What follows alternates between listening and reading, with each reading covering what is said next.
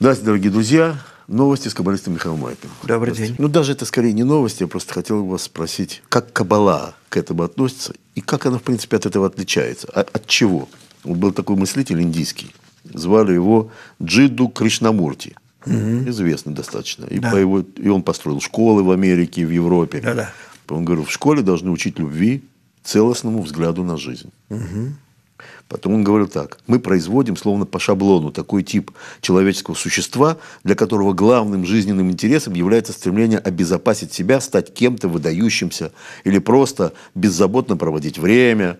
Вот и он говорит, ради чего мы живем? За что боремся? Вот скажите, пожалуйста, в принципе, вы говорите, что похоже очень на, на это, что не образование, а воспитание должно стать главным. Вот как Каббала на это смотрит? Вот тогда... Каббала смотрит на это очень хорошо, на все эти философии Да. о дружбе и любви.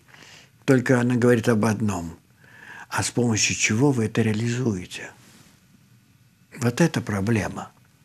То есть любой человек в мире скажет, дружба, отлично, любовь между людьми, прекрасно, э, помощь друг другу необходима Да. и так далее. А как это сделать, если у нас природа совершенно другая? Если я волком смотрю на всех и думаю, как бы ухватить за горло другого?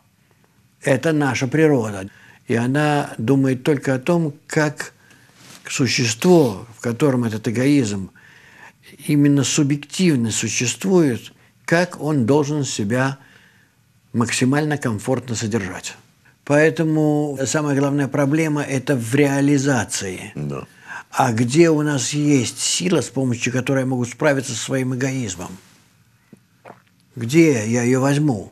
Если бы я понимал, что эгоизм – это плохо, и я, в общем-то, могу с этим с чем как-то согласиться, но я не вижу альтернативы, когда, допустим, я этот эго- эгоизм переделаю на хорошее, на добро, другим, через других себе и так далее. А как? Как? Я не знаю, я не умею, я не в состоянии. Я иногда пытался делать хорошие поступки. Ой, мне еще хуже от них было, чем от плохих. Здесь необходима высшая сила, сила выше нашей природы имеется в виду, выше эгоизма. Если я такую силу могу обнаружить в природе или где-то достать, как-то привлечь, то тогда есть о чем разговаривать. А если нет, то вот все эти прекрасные проекты, они прожекты.